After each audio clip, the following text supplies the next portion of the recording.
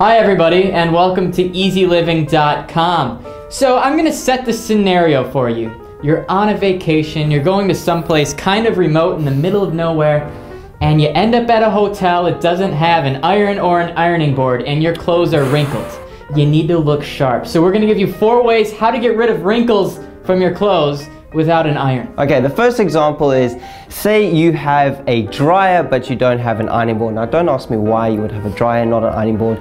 It's just an example. But if that's the case and you have a really really wrinkly shirt and you don't know what to do with it, chuck it in the tumble dryer and take a sock, now preferably a clean sock, not a dirty sock, and wet the sock. Chuck it in for about 20 to 30 minutes and when it comes out, I promise you it'll be wrinkle free. The secret is the wet sock. You have to throw that in with the shirt. I can vouch for this. I tried it yesterday and it worked beautifully. My shirts came out wrinkle free. It was great. Look at this. Look at this, huh? This is sexy.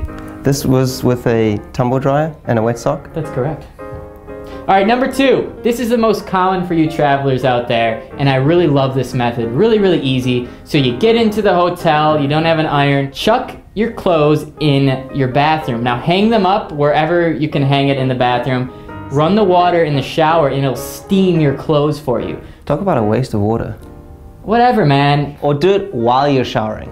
Or do it while you're showering. That's a good that's a good point. Do you take 20 minute showers? Yeah, it's gotta be steamy. Number three, the next method is another tremendous waste of electricity, but it works. Just like the shower method.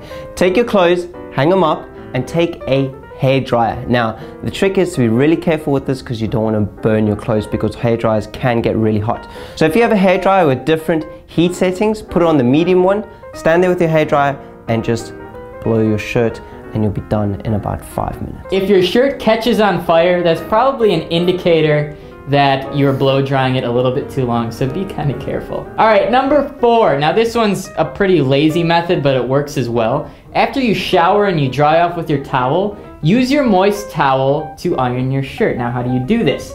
You take your shirt, you lay it on a flat surface, you take the moist towel and put it on top of your shirt, press, and it will actually iron out your shirt for you. But make sure that the towel is moist and not really wet or you're gonna be kind of out of luck because your shirt's gonna be completely soaked. How long does that method take? Like, do you have to leave it overnight? It doesn't take long at all. As long as the towel is moist, your shirt should dry off right away and you'll be good to go. All right, those are our four tips how to iron your shirts without an iron. We hope this helped you. If you have any other methods, be sure to leave them down in the comments below. You're watching eZeLiving where you can find anything and everything lifestyle.